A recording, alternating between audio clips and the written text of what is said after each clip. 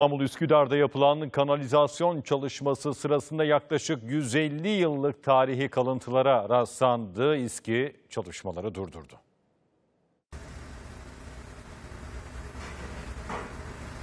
Yaklaşık 150 yıllık köprü gün yüzüne çıktı. Üsküdar'da İSKİ'nin kanalizasyon çalışmaları sırasında tarihi kalıntılara rastlandı. Tarihi kalıntıların bulunmasıyla İSKİ çalışmalarına ara verirken İstanbul Arkeoloji Müzesi incelemelerine başladı. Tarihi kalıntının bulunduğu alanın etrafı zabıta ekipleri tarafından kapatıldı.